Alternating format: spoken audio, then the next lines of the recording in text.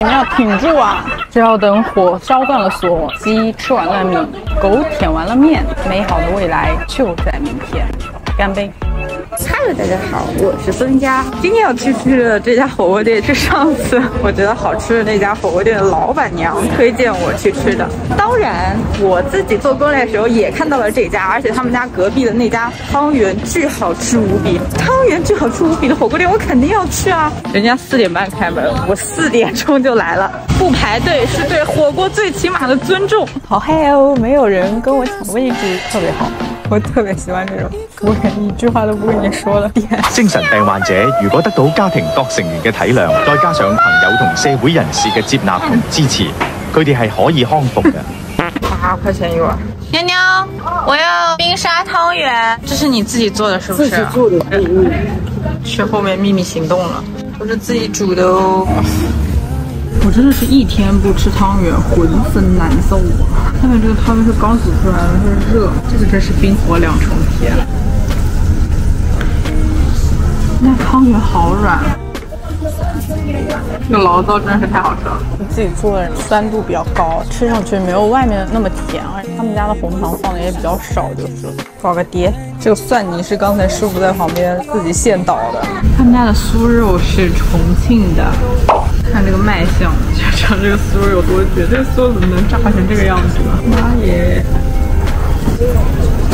我这次觉得我是真的第一次吃到真正的酥肉，这个外面也太酥了，外面酥的像那个南瓜饼，里面还有一点点流汁儿哦。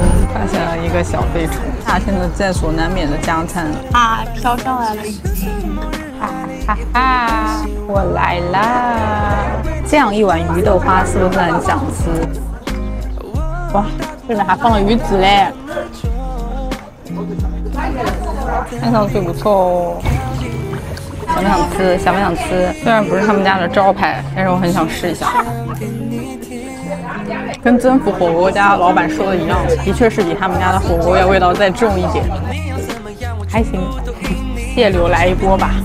这家的味道更咸一点，征服他们家偏甜一点。北方人来这家，南方人去征服。哇，蟹柳很好吃，很滑。